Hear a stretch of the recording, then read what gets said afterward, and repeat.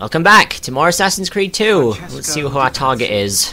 Brought up as a noble De in a captivated by the newly rich Medici family, Francesco was taught to hate the middle class and its social climbers. Dismayed, he watched as the Medici bank eclipsed his own, and centuries of influence over the Florentine government slipped away. It looks like the Spaniard offered him a solution. Rather than hmm. compete in something as dirty as banking, Francesco only had to do one thing for the Templars, one thing to put the middle class in their place for good. Kill the Medici. Giovanni Auditore tried to stop Francesco by putting him Oh in jail. Oh gosh. But the Templars took care of that. Ugh, sorry, Dad. We will help you, Daddy! Like we tried to help you, Daddy. Alright, let's do this. I saw Francesco lead a battalion. We tried to help Capitol our daddy, but it didn't help any. I fear he may be seeking another way. Go, before it's too late. Do what you can. Well, you two fuck off sounds good. Alright, let's do this. We're gonna do it, we're gonna kill him, and it's gonna be glorious. And we also had another time shift, because that's just how things work in the Animus. Time shifts, time shifts. I wonder if all of us will be happy about it. Then again, we're not really shifting, like... We're not time traveling, we're just kind of like skipping chunks. Of course, this isn't a computer genera generated world, though, isn't it? yeah. Now, if memory serves, the area where we need to go is actually the uh, the same prison area where we had to go see our dad the first time, like right near the beginning. Kind of like poetic justice in a way. Indeed. At least that's the plan. I like how there's still people walking around like saying, I'm just going about my normal daily lives while there are people fighting in the streets. Look, I must deliver this box of apples to... What's his face with the Italian name? yeah, like, can't think of one, so we'll just come up with a a interchangeable Italian name. That'll do. Go Right. Luigi. There you go. Let's do this. Let's kill things! You again! Why aren't you dead? Men, slaughter him! Yeah, good luck with that, dipshit. I was just like, why you said you were dead? We were never dead, you fuckwit! Yeah, Why aren't you dead? It's like, because you never killed me. uh. No shit, stupid. Oh no, a restricted area. It's not like these guards, and then always going to stop me. Uh, yeah, you're not. First thing you need to do when you're playing, when you're in a situation like this, is to give up all ability to give a flying fuck. It's working. I haven't been even hurt yet. It's like, I don't give a damn. Oh, that was cheap! I was gonna do a really cool kill, and then that guy just knocked me over. Your McNugget.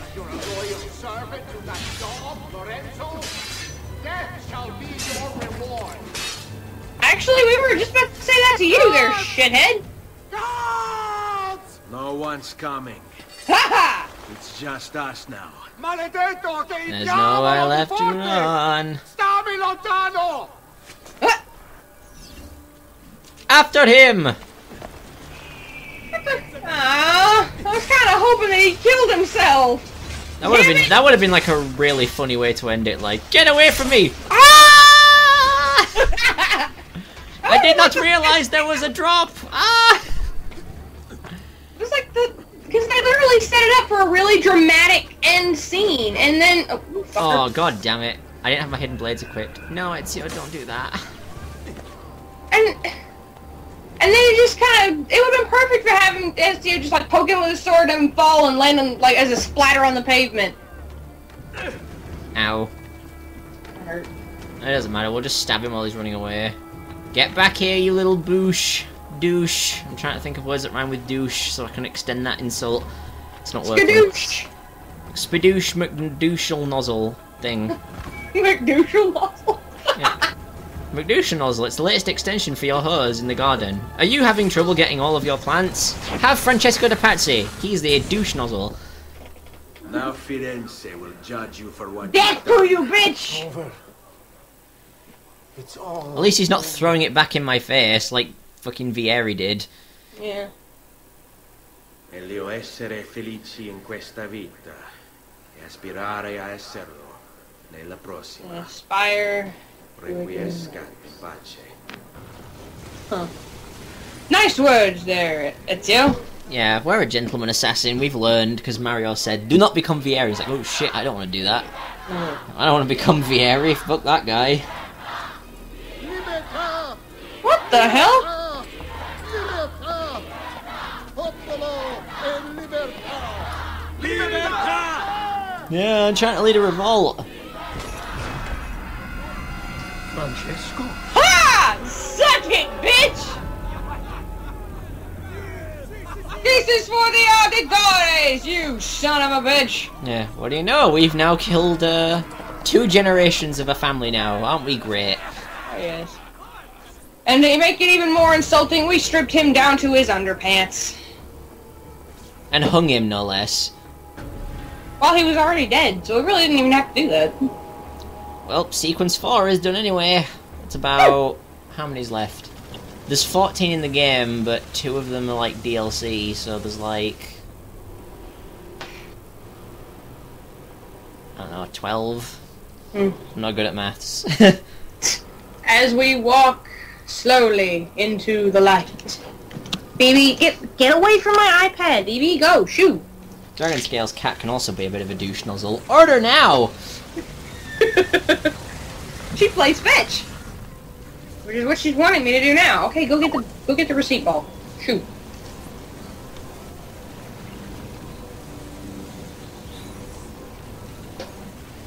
Oh, loading.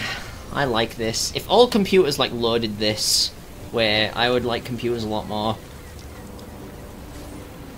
I hope virtual reality is as cool as this in the future, because it really will be something. How would you load like this? I don't know, just have everything on my screen, like, have that big, like, grid backdrop to my desktop as my desktop when wallpaper and stuff. Old, I fell into Oh, that'd be neat.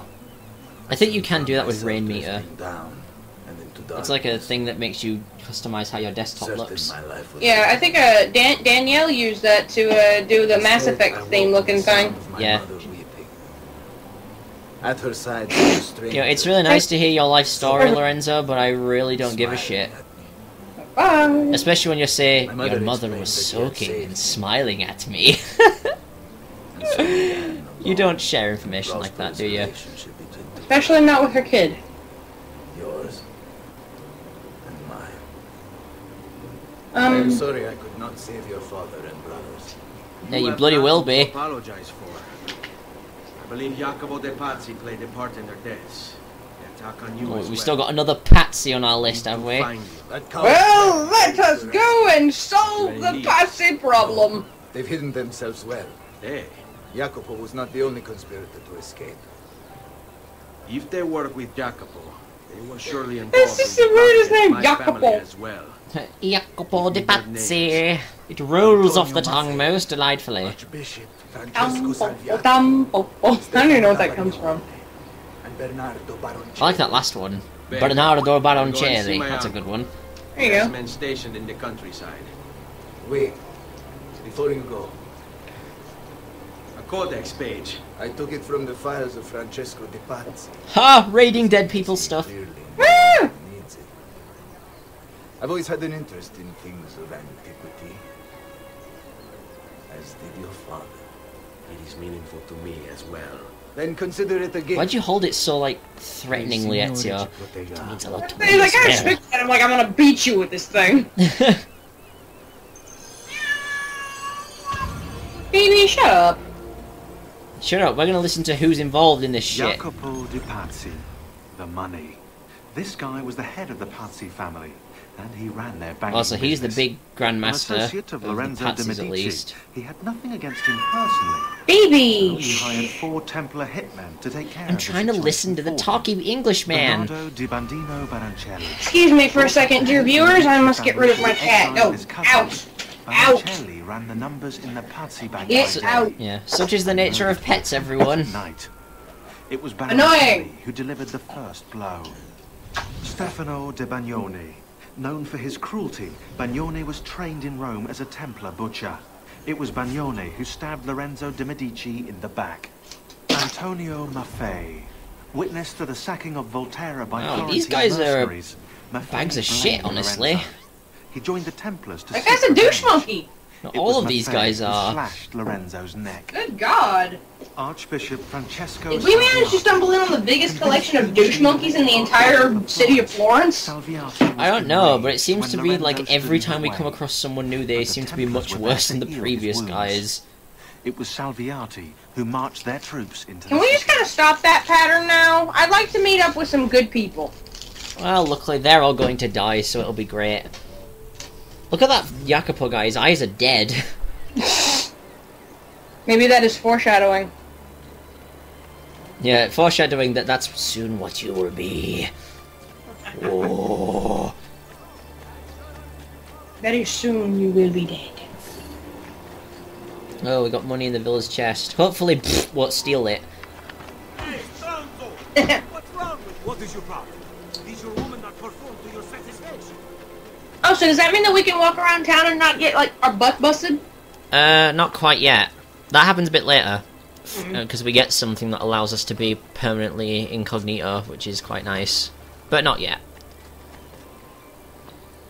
Because there is a thing that I want to try and get in this building. I think I'm on the wrong side. Like, we are never going to be able to go home, are we? Yes, yes, we're not going to go home. Pfft, now shut up and start working. but I don't want to work. Nah, nah, nah. Says really a lot about a person when they're just like that. I have days where I don't want to go to work either. Yeah, but she's like, how could they make me work and like face reality? How dare they do this to me? It's like, shut up. Hmm.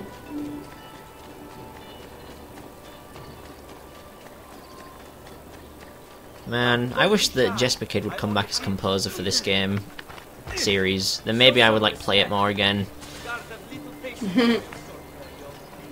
Move yourself, pregnant lady. Yeah, screw you. I've got like an ancient tomb to find. Oh, what do you know? It's right here. Hello. I would I would love to wonder why people don't even notice that there's a skull on the wall there. Maybe because the general population are idiots. I mean, that's kind of the case nowadays, yet alone back then.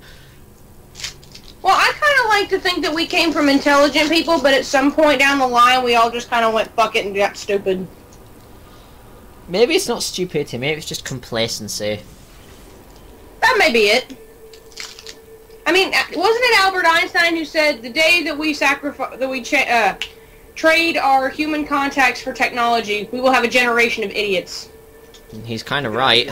Stay away Yep, from the because you can't have And a social gathering without somebody being on their take phone. care not to disturb any of the sacred relics in the lanterna on top.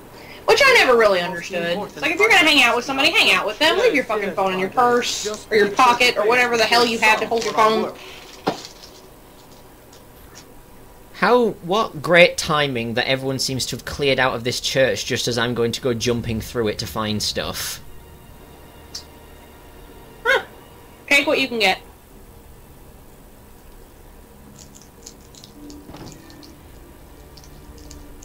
Okay, so there's a thing at the top of this place that we do that we need to get to, and we'll find another assassin seal. However, that will wait until the next episode. So join us then, when hopefully I won't mess this up terribly.